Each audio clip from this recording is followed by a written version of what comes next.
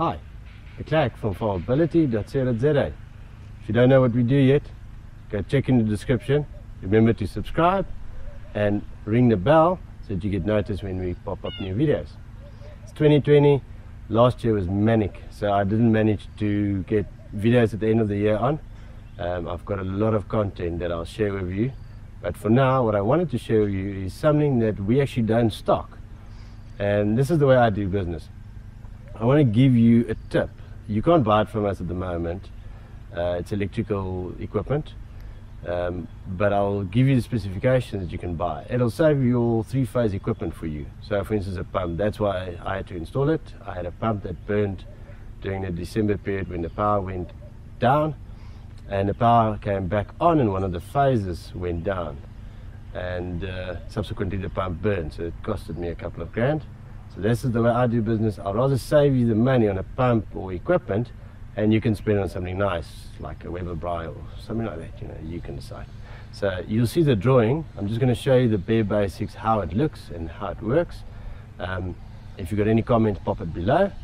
And yeah simple and easy. I'm gonna the wiring of the display units I'll explain to you as well now when I'm showing it to you. Okay so this is the MCE 65 amp contactor um, here is your indicators for your voltage so you'll see it flickers but you can see there so you'll see if it uh, if it's a grid failure or a phase failure because on a phase failure it'll go off but it'll pull out your contactor so remember, don't always just believe it'll work.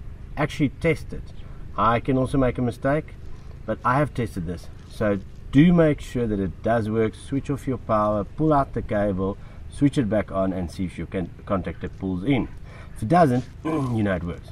And check your voltage uh, with your multimeter and see if it correlates. So this, you just run a little cable from here to your blue one, white one to the white or yellow, and then red to the red one and then at the bottom there's a little thing you'll see on the photograph that connects all the neutral cables and then from the one to your neutral bar. And I'm going to have internet trolls going yeah but you didn't cut this perfectly and and and. Yes I know this is a temporary installation we did because we're going to move it over in a month or so. So this was just uh, to get it in and protect the pump. So there is your Electro V3 uh, voltage window comp comparator. Jeez that's a big word okay so there you set your over voltage here you set your under voltage and on your equipment you'll see what under and over voltage it can handle predominantly. There you've got a little light showing that it's on and when it kicks out on over voltage it'll indicate there and if it kicks out on under voltage it'll kick out there.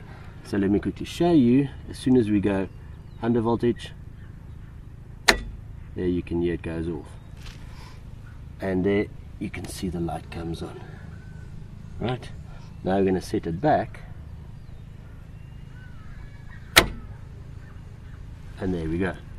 Pulled in. All right and the same with the under voltage. I'm not going to do it many times because I don't like the electricity going on and off constantly. So your under voltage will uh, get your fridges and stuff to uh, burn the compressors. So ideally that's not what you want. The whole setup, uh, and I bought it out from a reputable electrical supplier, was in the region of about two and a half thousand rand. So, and uh, just remember, you can't install it if you're not a qualified electrician. You can install it, but you have to get a COC from an electrician. So make sure that you get an electrician if you want to install it yourself to come and sign it off because you can have liability issues and an ant. Okay, so just remember that is South African law. Uh, do what you want to. Ours are installed, pump is running again, all happiness, and now we know we're protected. And we do this as it comes out from the main line so that uh, you know that all your equipment is protected. And yes, it has a drawback because then if one phase goes off, all your other equipment's down. I'd much rather have that than um, having a pump burn or a welder or any of that kind of stuff. Cool. Hope you enjoyed it. It's lovely speaking to you guys again.